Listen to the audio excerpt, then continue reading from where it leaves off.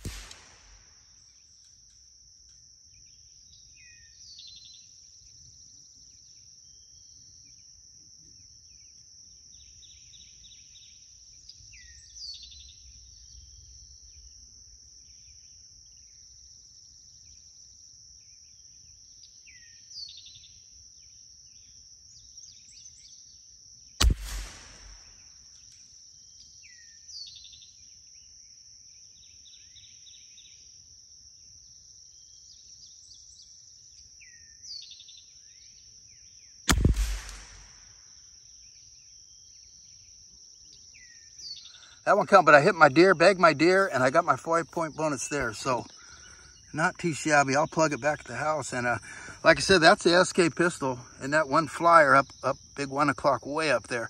And it always comes back zero. So two of the uh, SK pistol match and then went right at the Lapua, three shots and figured I was zeroed.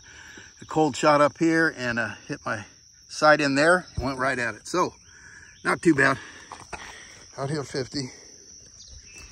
Okay, back to the house, guys, and I'll plug this thing up. I recommend a plug, or if you don't have a plug, get a shell, but they're probably about 20 bucks shipped to your door. So kind of a good way to go there, I think. Um, takes any guesswork out of it.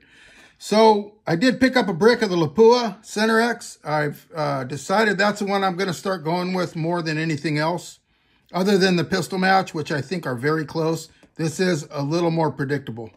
Um, that's why they're labeled the way they are. So Lapua Center X, if it's not shooting right, it's usually something I'm doing, either with trigger control or um, pulling with my rear bag, you know, doing something stupid. But it's usually, I can't blame it on the ammo. I can blame it on the barrel, but the barrel's in the situation it's in because I didn't clean it properly. So anyway, enough blabbing. Cleared all my buffaloes. And uh, this one does count. You start off with it. I did do a cold, and sure enough, 15 minutes between I did my sight ins over here. I had three little pacers I showed there. And uh, from that time, getting back to the bench, I'm glad I did do a cold shot because it did. It always shoots high on a cold. Then I nailed that, so I knew I was on. Okay, so this one counts, even though it doesn't have the red. It's a little easier because it's bigger. Figured get your get your eyes used to what's going on here. I hit uh, five of them. I cleared all five of them, I do believe, because if you plug any of the body, yeah, that's touching the body, guys. I don't know if you can pick that up. And uh, this one too, tail hit, but touching the body, so I'm okay. If I was out here and not touching the body, it's not going to count. As long as you plug and touch. So these are, you know, this takes all the guesswork out of it. It does. You just plug it. This one here, it looks like a miss. It plugged. Okay, got his butt there. So I've got uh, 5, 10, 15, 16, a clear miss there. Okay. So where was I? Uh, 5, 10, 15, 16, 17, 18, 19, 20, 21. Plugged his feathers. 22. Missed this guy altogether. Hit my bonus deer, just nailed him. So that's awesome. Bag your deer at 300. Got him five points, okay? And then I hit my bonus, optional bonus. This is, if you go with this, you're either going to get five points or you're going to have five points uh, minus off of your overall score. So it is a gamble, guys. You don't have to go with it. So uh, we'll count them up real quick. We got uh, one, two, three, four, five, six, seven, eight, nine, ten. I forget on this one. 11, 12, 13, 13, 14, 15, 16, 17. This was the 18, I do believe. 18, 19, 20, 21, 22, 23. Okay. 24, 25, 26, 27, 28. So I got that too. So it's a, a high of 28, guys. So that's my high score. Got the uh, No Pro here. Rifle CZ457 Varmint MTR. And the ammo was Lapua center X. Yeah, there you go. So, here you go, guys. Kind of put a put one out here for you to kind of see how I scored it. That way there's no confusion. Um, I'm sorry on some of my targets. It can be confusing, and I have a hard time.